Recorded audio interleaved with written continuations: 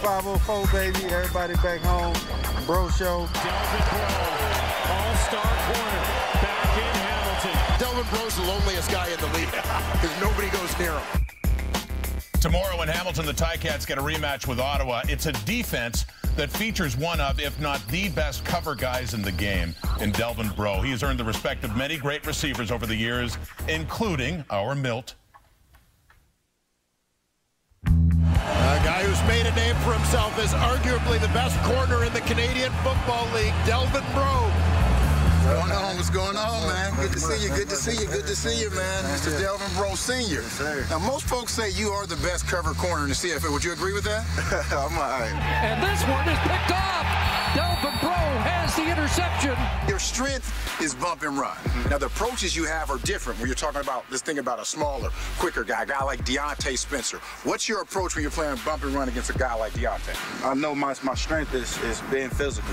So I, I would try to do is make him go lateral. Okay. Not get up the field. Like Okay. him being a smaller body. Right. He get up the field, boom. Now I'm here. Right. Boom. That's what I want. That's how I know I want to play from the from the jump. Mm-hmm. If he comes in speed release, that's boom, just like that. And I'm coming off here. Deep ball and batted away. Welcome to Breaux Island.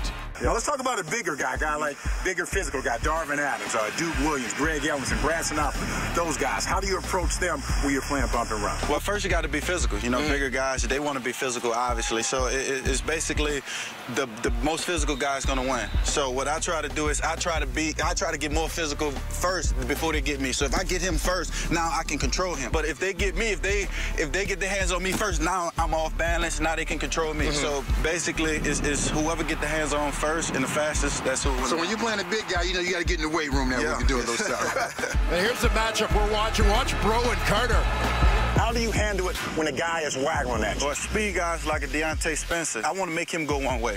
I, I don't want him to have a two-way going because now he got me beat. Right. So I would play a leverage. So I see him coming off his wag. I play outside. I'm gonna make him go inside. Okay, So now okay. I'm anticipating. So when he go inside, now I can open up and run with. him. okay, now the bigger guy, who you, you maybe want to come up and get physical with you. I'm pressing the high motion. Okay, The bigger right, guys. you okay, know, bigger right. guys, smaller guys. I press the high motion.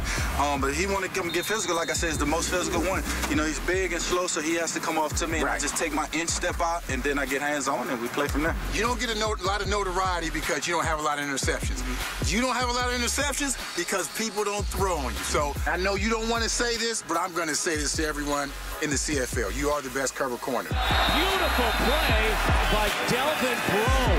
That's one of the best knockdowns you'll ever see. Let's have fun today. Let's let it fly.